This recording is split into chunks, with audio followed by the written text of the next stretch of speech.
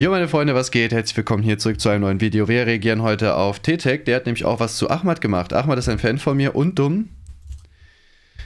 Ist eigentlich das gleiche und dann gucken wir einfach mal rein. Hallo wa? und herzlich willkommen zu einem weiteren Video hier auf meinem Kanal. Heute müssen wir nochmal über Ahmad sprechen. Denn er hat ein neues Video hochgeladen, wo er alle Meinungsblogger kritisiert, die auch ihn kritisiert haben. Interessanterweise hat er nicht mich erwähnt, obwohl ich ja auch schon Videos über ihn gemacht habe. Und klar kann man jetzt sagen, ja, der kennt dich ja vielleicht nicht, aber da würde ich widersprechen, denn Ahmad ist ein kleiner Fanboy von mir, wie es aussieht. Dass er mich kennt, zeigt er hier. Ach, wo ist das Video, wo KuchenTV letztens auf dich reagiert hat und gezeigt hat, wie cringe du mit Frauen flexst? Ach, das hat KuchenTV offline genommen, weil du mit ihm privat geredet hast. Das Video, wovon Ahmad spricht, ist die Reaction von KuchenTV auf mein altes TJ-Video. Wir reagieren heute mal wieder auf T-Tech. Ähm, das Na, er hat sich direkt gesichert hier. Ja, Auch ja, die ja. Tatsache, dass er in seinem Video Sequenzen aus meinem Video einblendet, zeigt, dass er mich kennt. Schauen wir mal hier rein. Hallo YouTube, was geht ab bei euch? Erkennt man übrigens an der Art, wie die Quelle zum Originalvideo eingebunden ist. So mache ich das nämlich immer. Und auch die Tatsache, dass er meine Argumentation eins zu eins übernimmt, zeigt, was für ein Fanboy er von mir ist. Ganz kurz, das sind Endcards,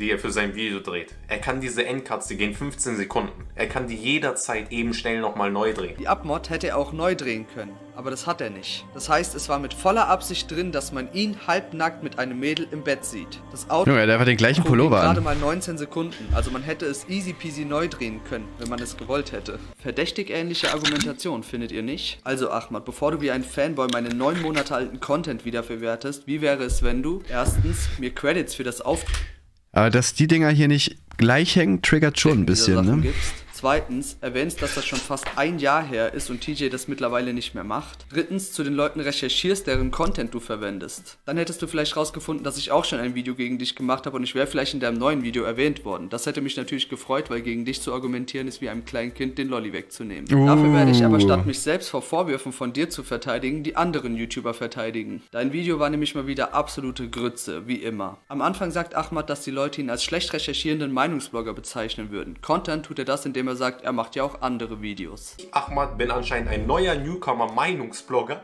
der scheiß Videos macht. Okay, eine Ja, klar ist das kein Beweis. Ich glaube, das wäre eher so ein bisschen humoristisch gemeint jetzt gerade, als dass man jetzt wirklich, dass er jetzt wirklich sagen möchte, dass er ein Fan ist. Therapiesitzung mit Ahmad. Die besteht aus 10 Videos. Das sind Videos, wo ich Real Talk mache und den Menschen helfe. 8 Videos auf der Jagd nach den Dragon Balls. Das sind Vlogs, okay? Die ganze Wahrheit über. Das sind meist politische Videos mit seitenlangen Quellenangaben. Cringe Talk, das ist einfach Aufklärung über TikToker, die Dutzende Leute verarscht haben. Wo ich Dutzende Sachen aufgedeckt habe. Crack Schulstories 7. Erzähle ich Schulstories aus meinem Leben. Okay, dann gehen wir doch mal deine Videos wirklich durch. Therapiesitzung mit Ahmad, 10 Videos. Okay, sind keine Meinungsblogs, gebe ich dir recht. Auf der Jagd nach den Dragon Balls, 8 Videos. Okay, auch keine Meinungsblogs, also bisher 18 Videos, die keine Meinungsblogs sind. Die ganze Wahrheit über, 13 Videos. Sind Meinungsblogs, weil deine Wahrheiten darin subjektive Meinungen von dir sind. Außerdem Ja, ist unter fast keinem Video, wie von dir selbst angegeben, eine seitenlange Quellenangabenliste. Geil.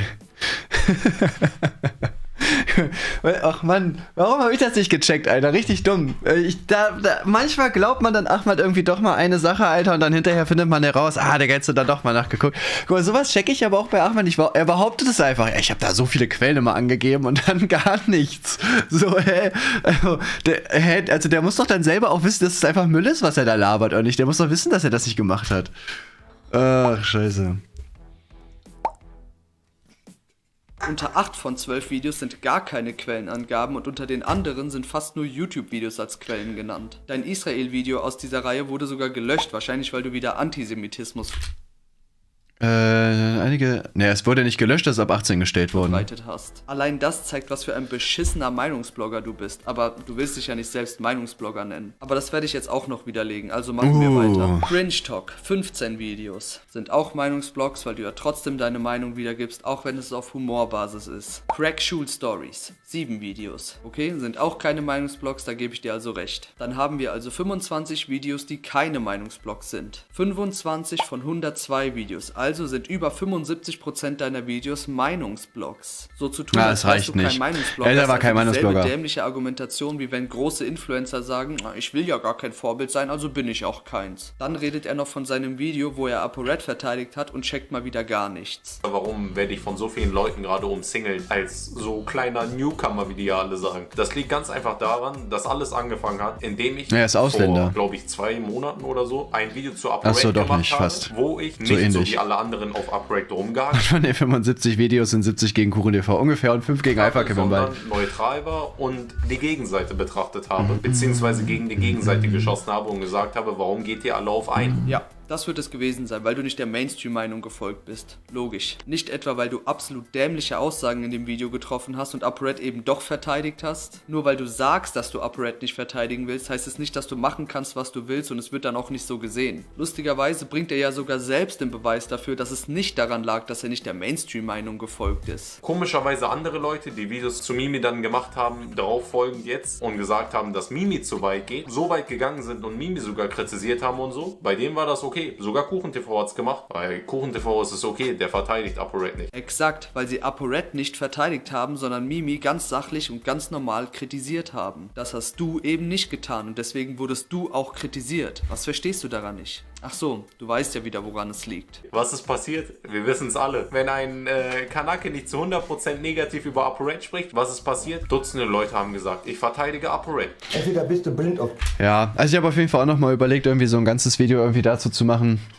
Zu diesen ganzen YouTubern, die irgendwie, also die, die sind nun mal einfach immer ausländische YouTuber, die da irgendwie dann immer so diese, diese Ausländerkarte spielen und damit einfach so die, die Gesellschaft spalten, egal ob das jetzt ein ABK ist, ein Hisham oder ein Ahmad, so halt zu sagen, ja, weil ich Ausländer bin und das kritisiert habe, wird er jetzt so draufgehauen. So, nein, Digga, so niemanden juckt deine Herkunft so, ne? Also, äh, das ist halt vollkommen egal. Ich finde es einfach immer super schade, dass es halt von diesen Leuten kommt, weil ähm, ich schon das Gefühl habe, beziehungsweise das sagen die ja auch selber, jetzt zum Beispiel auch in EBK hat das ja auch selber gesagt, ähm, sie haben nun mal eine Community, die aus, also die, die sehr oft auch aus Südländern und Ausländern halt beste besteht, ne? Weil das halt Leute sind, die sich auch gut mit halt identifizieren können, logischerweise so. Und wenn die dann die ganze Zeit von ihren Vorbildern hören, ja, wir werden hier diskriminiert und äh, die wollen uns hier raushaben, wir werden auf YouTube gar nicht gemocht, bla bla bla, so, dann ähm, brennt sich das natürlich einfach bei den ein und das spaltet halt die Gesellschaft und das finde ich halt so schade und ich finde sowas Schwerwiegendes wie ja, nur weil ich Ausländer bin, halt wie Ahmad so nebenbei einfach zu droppen, so als Nebensatz, ist halt einfach saugefährlich so, ne, das geht einfach nicht. beiden Augen oder nur einfach blöd. Klar, es liegt natürlich daran, dass du Ausländer bist, nicht daran, dass du absolut beschissen argumentierst. Ahmad, mal im Ernst. Werd mal erwachsen und übernimm Verantwortung für deine schlechten Videos, anstatt mit der Rassismuskeule zu schwingen. Niemanden juckt deine Abstammung. Wir argumentieren alle gegen deine Argumente. Niemanden juckt es, wo du herkommst. Dann geht Ahmad die Meinungsblogger nacheinander einzeln durch, die er kritisieren will, und sagt über TJ das hier. Aber wenn ich komisch bin, ne? Wo ist dann dein Tinder-Video, wo du Frauen belästigt hast? Warum hast du das offline genommen, dein Tinder-Video? Komisch, dass du es offline genommen hast. Ja, TJ, wieso hast du eingesehen, dass es vielleicht doch nicht so cool ist und hast das Video offline genommen? Moment, das ist doch eigentlich was Gutes, oder nicht? Was hätte er denn sonst Nee. machen sollen, Ahmad? Es online lassen? Dann hättest du auch das kritisiert. Ey, TJ, warum lässt du das Video online? Warum löschst du sowas nicht? Ahmad kritisiert ja nicht nur das Video an sich, sondern auch, dass TJ es offline genommen hat. Obwohl das ja der richtige Umgang mit so einem Video wäre. Dann kritisiert Ahmad noch das cringe Flexen mit Frauen, was TJ ja auch schon lange nicht mehr macht. Und das war's auch schon. Wow, richtig gut auseinandergenommen, den guten TJ, mit meinem Content. Vor allem greift Ahmad nicht einen einzigen Kritikpunkt von TJ auf. Er sagt einfach nur, du findest mich blöd, du bist blöd. Von mir safe. seid ihr dann halt beide blöd. Herzlichen Glückwunsch. Ja, den, also den Part mit TJ habe ich halt auch nicht verstanden in dem Video. Also keine Ahnung. Ich habe ich hab ja auch schon ganze Videos über TJ gemacht, also zumindest auf diesem Kanal hier. So, ich finde auch, dass er teilweise eine sehr peinliche Attitude hat. Er hat schon sehr viele Aktionen gemacht, wo ich auch sage, so, boah, schon ziemlich cringe so. Aber den Part in dem Ahmad-Video habe ich auch nicht verstanden. Also ich meine, TJ hat, glaube ich, auch nur eine einzige Reaction gegen Ahmad gemacht. Warum der dann da einen 4-5-Minuten-Part irgendwie in dem Video kriegt, wo dann nicht mal wirklich darauf eingegangen wird, was er überhaupt gesagt hat. Hat sich mir jetzt ehrlich gesagt auch nicht ganz erschlossen, muss ich ehrlich gesagt zugeben.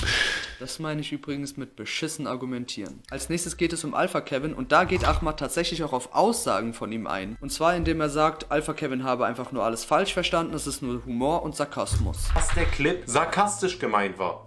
War auch gar nicht sarkastisch gemeint, du Schwanz, ne? War gar nicht sarkastisch gemeint. Wo ich einfach als Joke das sage und tut so, als hätte ich das ernst gemeint, okay? Weil ich in einem lustigen Content fett sage. Ihr müsst euch vorstellen, er schneidet gerade Witze raus und stellt mich als bösen Menschen da, weil ich einen Witz mache. Weil ich aus Spaß gesagt habe, ist das eine Frau oder ein Mann. Er nimmt ein älteres Video von mir, wo ich sogar sarkastisch rede. Jeder Mensch checkt, dass es sarkastisch ist. Äh, feier, ich liebe solche Zusammenschnitte. Und kein Scherz, das ist auch schon alles, was Ahmad gegen die Vorwürfe von Alpha Kevin sagt. Fast alle Punkte, die Alpha Kevin kritisiert, sind ja nur Humor und Sarkasmus. Und damit ist Ahmad dann durch. Mal wieder richtig stark, Ahmad. Du bist wirklich der Argumentationskönig in YouTube Deutschland. Im Zuge seiner Argumentation sagt Ahmad auch das hier. Junge, ich mache mich tagtäglich witzig über meinen Kumpel, wie dumm er ist, das ist in Ordnung. Aber wenn ich mich über einen LGBTQ-Menschen lustig mache, das geht gar nicht fit. Wie Ahmad? Alpha Kevin glaubt wirklich, es gäbe einen Unterschied zwischen im Privaten seinen Kumpel zu beleidigen, der genau weiß, wie er es aufzufassen hat, und im Internet öffentlich vor hunderttausenden Leuten beleidigende Witze zu machen, wo nicht jeder weiß, wie man das aufzufassen hat. Ja, Alpha Kevin ist einfach cringe. Ah, richtig lost von Alpha Kevin, da gibt es doch gar keinen Unterschied. Idiot. Dann spricht Ahmad noch die pädophilen Vorwürfe gegen Igli Schröder an, sieht es aber immer noch genauso. Aber einen Pädophilen verteidigen, um mich haten zu können, hättest du nicht was Besseres finden können? Hier wiederholt er sogar die Pädophilie-Vorwürfe gegen Igli Schröder und zeigt, warum er das so sieht. Und nichts von dem zeigt, dass Igli Schröder tatsächlich ein Pädophiler wäre. Hier ein Screenshot von einem Kommentar. Dann behauptet er, der Typ hätte es auch schon zugegeben. Weißt du, was Tatsache ist, dass er Ja, das Video ist jetzt, also dieser Part ist jetzt ein bisschen veraltet, weil Ahmad hat dazu ja auch schon ein neues Video hochgeladen. Ähm, da hat er ja schon gesagt gehabt, dass es halt nicht, also dass er es auch immer noch als pädophil sieht, weil er, es, er hat dann irgendwie gesagt, ah, es ist Hebephilie, aber es wird ja umgangssprachlich, wird alles irgendwie Pädophilie genannt und so weiter, deswegen ist das trotzdem richtig, was ich gesagt habe, bla bla bla bla bla, ich bin Ahmad. So, also ich finde es immer noch lächerlich so, ich finde gerade ähm, mit dem Wort Pädophilie sollte man halt aufpassen und gerade in Ahmad, der sonst immer so faktenbasiert und so weiter arbeiten möchte, dass er dann die Bedeutung von einigen Wörtern halt nicht versteht, die klar definiert sind, ähm, blicke ich halt nicht. Ne? Also, dass Igli Schröder da was mit einer 17-Jährigen hatte, ist ekelhaft, keine Frage, müssen wir uns nicht drüber unterhalten. Ähm, das geht gar nicht, aber es ist halt trotzdem nicht pädophil. So, und so jemanden das einfach vorzuwerfen in einem Video, was äh, dann hunderttausende Menschen sehen können, ähm, ist halt einfach gefährlich, es ist Rufmord. So. den ich rede mit der Pädophilie, es schon zugegeben hat, dass er was mit der Minderjährigen hatte. Wie du hier sehen kannst. Ich gebe den Fehler zu, ich habe einen Fehler gemacht, es sind 10.000 Menschen, ja? Ahmad, weißt du überhaupt, was Pädophilie bedeutet? Die pädophile Störung bezeichnet wiederkehrende, stark sexuell anregende Fantasien, Zwänge oder Verhaltensweisen unter Einbeziehung von Kindern, meist 13 Jahre oder jünger. In der Sexualmedizin spricht man von Pädophilie erst dann, wenn sich ein Erwachsener zu Kindern hingezogen fühlt, die selbst noch nicht in der Pubertät sind. Also Ahmad, Kinder bis höchstens 13, die noch nicht in der Pubertät sind. Minderjährig heißt einfach nur, dass man noch nicht 18 ist. Solange also die Sexualpartner von Igli Schröder alle über 14 sind, kann hier keine Rede von Pädophilie sein. Und Ahmad wiederholt diesen Pädophilie-Vorwurf wirklich ständig. Das ist kein Versehen. Aber einen Pädophilen verteidigen, er, über den ich rede mit der Pädophilie, deswegen gehst du auf die Seite eines Pädophilen, Ahmad macht Igli Schröder diesen Vorwurf, weil ihm eine 17-Jährige einen... geblubbert hat. Diese Dame ist also vier Jahre zu alt, um Igli Schröder als einen Pädophilen darstellen zu können. Ach, Ja, und vor allem, die sieht auch nicht aus wie ein Kind, ne? Das hat ja, das war ja auch seine Argumentation, so, ja, ne, es gibt ja auch Leute, die ja später in die Pubertät kommen und so weiter. So, ja, ist auch richtig, so, ne? Aber das ist bei der halt nicht der Fall. Nach Alpha Kevin geht es um Stay und Ahmad redet eigentlich die ganze Zeit nur über die Regeln. Ja, und ich meine, es ist auch kein Beweis dass wir, dafür, dass er halt Hebephilie irgendwie hat oder hebefilig ist oder wie auch immer man das sagt. So, ne, weil man müsste sich halt generell die Sexualpartner ansehen. Was ich halt eher glaube, ist, dass ich kenne Igli Schröder nicht, ne, aber ich glaube einfach, dass das einfach ein Vollassi ist, der sich irgendwie gefreut hat, dass ähm, es da halt einen Vibe gab, mit dem er irgendwie was haben konnte. So, der hat das ja auch irgendwie aufgenommen oder so. Da gab es ja wohl irgendwelche Videos sogar zu. Ähm, und ich glaube, der hat sich halt einfach cool gefühlt, dass er halt ein Vibe hat, was ihm eingeblubbert hat. So, das ist, glaube ich, eher das Wahrscheinlichste äh, an der Sache, als dass er da wirklich, ähm, dass er da wirklich so eine zu, zu Vordings hat, also, ne, dass er darauf steht. So, ich glaube, wenn die jetzt 20 gewesen wäre, hätte er sich genauso einblubbern lassen.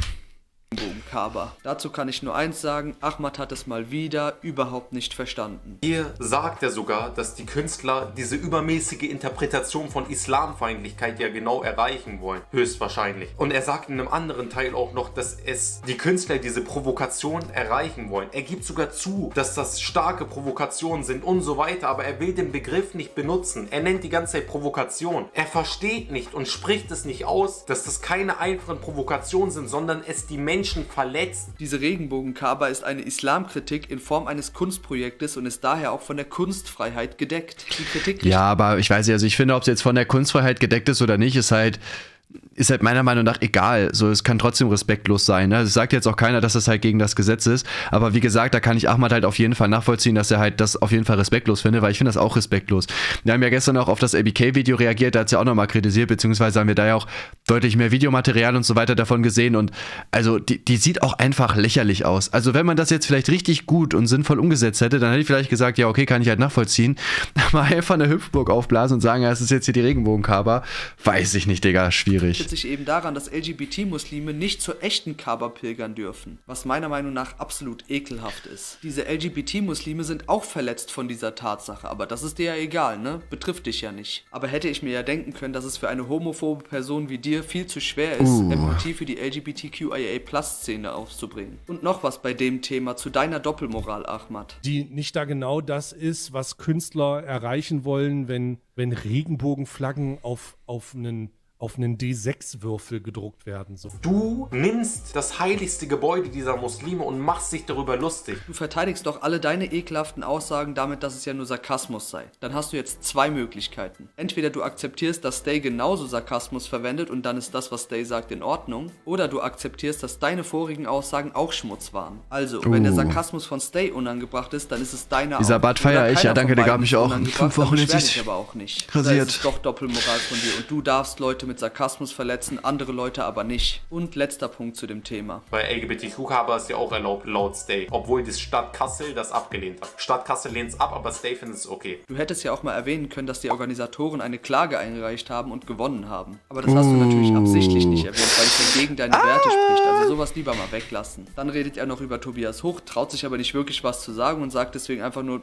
du bist ein Steuerhinterzieher. Also überspringen wir das. Als letztes spricht er über Kuchen TV und haut sich dann direkt einfach mal selbst in die Pfanne. Hier würde mich aber vor allem der Beweis interessieren, woher du wissen möchtest, dass die Zuschauer von Nona dein Video ebenfalls gefeiert haben. KuchenTV fragt sich jetzt, woher ich weiß, dass das Nona-Kanal-Zuschauer sind. Er sagt jetzt, ich werde nur eine Nachricht zeigen von der Nona-Kanal-Zuschauerin und dann sagen, ja, deswegen waren das Nona-Kanal-Zuschauerinnen, die mein Video geliked haben. Nein, KuchenTV. Ich werde nicht mal eine, obwohl doch, ich zeige dir eine Nachricht. Es haben mir genug Mädchen geschrieben von Nona-Kanals-Zuschauern. Du kannst dir die Dutzenden anderen in den Kommentaren durchlesen. Er sagt sogar selbst, dass KuchenTV vorhergesagt hat, dass Ahmad nur eine Nachricht zeigen würde und Ahmad macht genau das. Eine Nachricht zeigen. Er redet darüber, dass es ja Dutzende Kommentare unter seinen Videos geben würde, kann aber nicht einen einzigen einblenden. Einfach wieder nur leere Behauptungen von ihm. Und Ja, wobei es wahrscheinlich in den Kommentaren schon irgendwelche Leute gibt, die da auch positiv drüber geredet haben. Ne? Da bin ich mir ziemlich sicher. Glaubt Also. er wirklich, dass er den absoluten Beweis dafür hat, dass das ja Nona-Kanal-Zuschauer waren? Nicht etwa die Kommentare, die er nicht zeigen kann, sind Beweise dafür, sondern das. Ich habe tatsächlich Beweise dafür, dass das Nona-Kanal-Zuschauer waren, beziehungsweise wie du sagst, Mädchen-Zuschauer, die auf meinen Kanal gekommen sind. Mein Mädchenanteil ist rapide gestiegen, genau in jetzt, in dem Monat, wo ich über Nona-Kanal drei Videos gemacht habe. Ist das Zufall, dass genau jetzt, obwohl ich seit eineinhalb Jahren YouTube mache, mein Mädchenanteil sich fast verdoppelt, von glaube ich 27% auf über 40%? War bestimmt nur Zufall. Dein Mädchenanteil unter den Zuschauern ist gestiegen und das ist ein Beweis für dich, dass Nona-Kanal-Fans dieses Video gefeiert haben? Vielleicht haben ihre Fans diese Videos geguckt, das heißt aber noch lange nicht, dass sie die für gut befunden haben. Du interpretierst einfach was in die Zahlen hinein, was überhaupt nicht der Fall sein muss. Das sind keine Beweise, das ist höchstens ein Indiz. Danach labert er auch nur noch mehr Scheiße, aber ich habe ehrlich gesagt keinen Bock mehr. Das Video ist auch schon lang genug. An jeden Einzelnen, der dieses Video gerade schaut, schaut es zu Ende, denn ich bin mir ziemlich sicher, danach werdet ihr ein ganz anderes Bild auf alles haben. Ahmad, ich habe dein Scheiß-Video von Anfang bis Ende durchgeguckt und ich habe keine Reactions vorher gesehen. Trotzdem laberst du zu 95% absolute Grütze. Schieb es also nicht wieder darauf, dass man angeblich irgendwas von dir aus dem Kontext Ja, er ist halt Ausländer, Wenn du ne? schon solche Behauptungen ausstellst, Deswegen dann macht man doch, das. dass die Leute irgendwas aus dem Kontext geschnitten haben. Indem du zum Beispiel den ganzen Kontext einblendest. Aber das tust du nicht, weil du es nicht kannst, weil keiner deine dämlichen Aussagen aus dem scheiß Kontext geschnitten hat. Sonst könntest du es ja auch einfach mal beweisen und tatsächlich mal recht haben. Was kann ich abschließend zu Ahmad sagen? Ich beziehe mich einfach darauf, was Kaiser gesagt hat. Der Typ präsentiert Vermutungen als Fakten, hetzt gegen Influencer, die ihm alle Karten offenlegen und kennt anscheinend nicht mal die Definition von den Wörtern, die er benutzt. Aber das soll es mit dem Video gewesen sein. Ich hoffe, immer es hat euch gefallen. Wenn ja, dann liked es gerne und abonniert hier meinen Kanal. Schreibt mir eure Meinung zu ihm gerne in die Ja, gutes Video auf jeden Fall. Kann man so drehen. Finde ich auf jeden Fall sehr gut. Und ähm, ja, Digga, guter Mann.